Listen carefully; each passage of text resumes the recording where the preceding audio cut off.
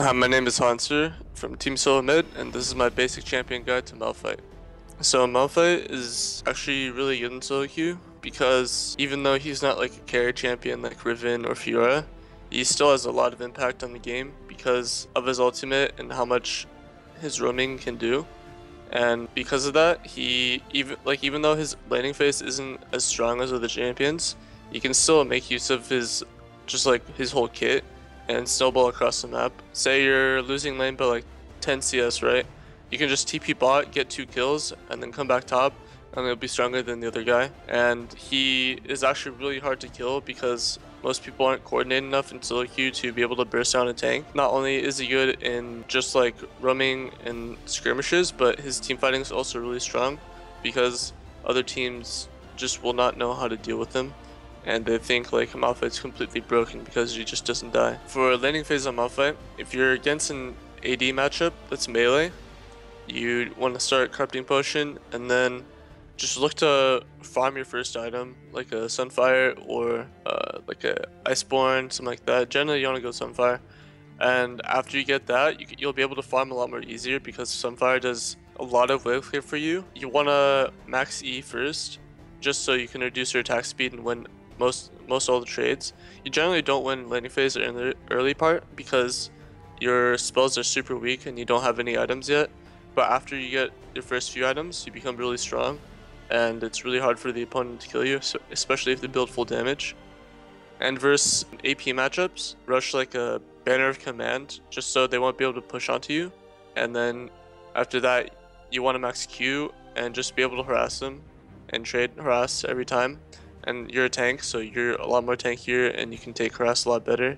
And after that, around like level 6, you want to look for roams more and just like look across the map, see what's happening. If there's like a dive going on bot or if they're like going super hard, you can just TP on the enemy bot lane, get a few kills.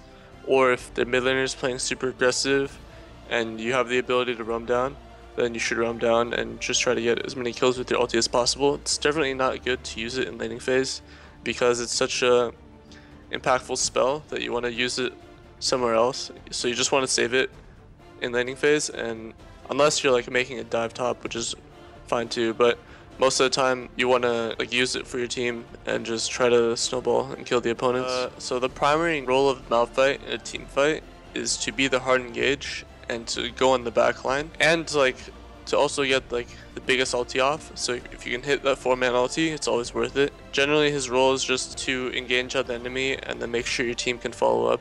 If your team can't follow up your engage, then it was a bad engage. And you should wait till a better opportunity or when like people are in position to follow up. If you're a 5-5 grouped, you want to be looking for multi-man engages. Like if suddenly three of them clump up to try to dodge like a skill shot from your mid laner, then you can look for an engage with your flash ulti.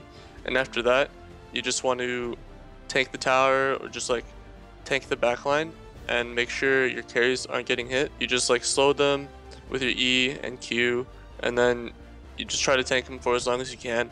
Like don't commit too hard and just like play like you're fighting back unless you're super strong at that point where you can actually solo the AD carry or AP carry. For spell rotations in team fights, you generally just like start off with ulti, then you E, and then you WQ, and then you just auto for the rest of the time until your cooldowns are back up again. And that's generally the most efficient way to use Malphite is just E after his ulti, so they're instantly slowed and you have a guaranteed E because they're still knocked up in the air. Most efficient engage, which is the flash ulti, you can actually queue up the ulti if you're out of ulti range. Like once you're in range of the ulti, then your ulti will immediately go off. So it's just like an easier way to pull off the combo and you pretty much set it up beforehand, so you don't have to do much after you press the commands. And it's just like really good for an instant engage because no one expects it. So um, Malphite's really good on teams that have a lot of follow-up, like Kalista, which can throw the support in after the Malphite. Change the CC for like 4 seconds is really strong. Lulu's also really good at that. Just ulti the Malphite once he goes in.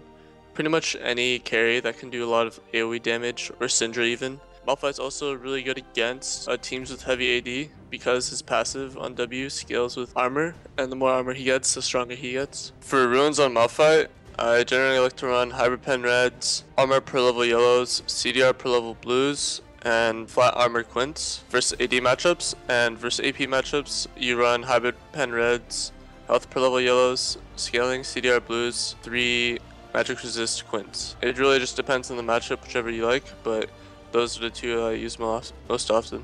For masteries on Malphite, I generally like to go 12 0 18 and I get 12 and Frosty just because Feast is really helpful for laning phase, you get some extra damage and you're always going to be slowing other people so you get more damage with Oppressor. And in the resolve tree, I like to go Recovery, Tough Skin, then Runic Armor, then Insight, Swiftness, and then Grasp of the Undying. I think Insight's probably the best mastery on Malphite because he's so reliable. Well, he relies so much on flashes, flash engages with your ulti, and TPs to get flanks off.